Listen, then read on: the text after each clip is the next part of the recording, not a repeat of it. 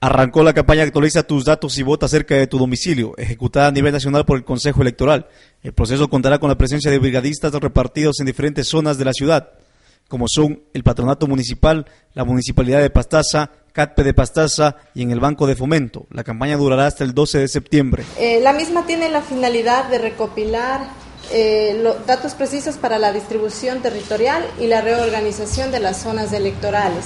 Además, permitirá actualizar eh, el registro electoral, eh, permitiendo al ciudadano que sufrague cerca de su domicilio y así llegar a disminuir el porcentaje de, de ausentismo para los comicios del 2003.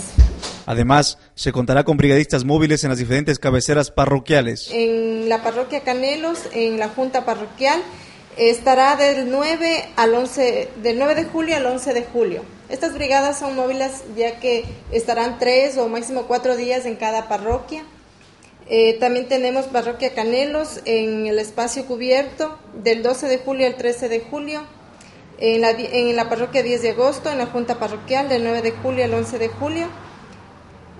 En la parroquia El Triunfo, en el lugar de la junta parroquial del 9 de julio al 11 de julio en la parroquia Teniente Ortiz, en la Junta Parroquial del 16 de julio al 17 de julio, en la parroquia Fátima, de, en la Junta Parroquial del 18 de julio al 20 de julio, en la parroquia Chico Copataza, en el lugar, en la escuela José Mejía Lequerica del 23 de julio al 24 de julio, en la parroquia Simón Bolívar, en la Junta Parroquial eh, desde el 25 de julio al 27 de julio, en la parroquia Chubitayo en el colegio Chubitayo del 30 de julio al 31 de julio. Los requisitos que las personas deberán presentar para el cambio de domicilio son el original de la cédula y el certificado de votación, adicional una carta de servicio básico. Eh, para lo que son las zonas rurales, eh, eh, hay zonas en donde no se cuenta con servicios, con algunos servicios básicos, el ciudadano podrá presentar lo que es el pago del predio.